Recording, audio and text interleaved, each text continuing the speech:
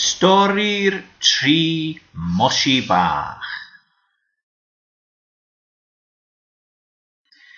Un tro roedd un mosi bach o'r enw Busbus yn byw mewn tŷ plastig. Help, help, Mr Rumpelstiltskin!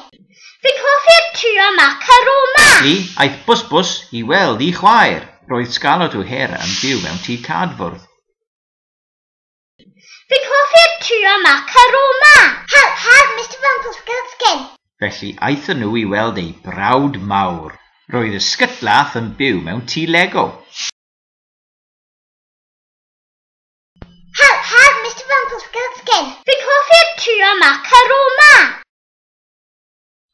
Aeth y Mosie's drwg adre.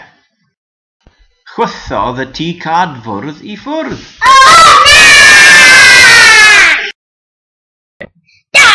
chwythodd y tŷ plastig i ffwrdd. O!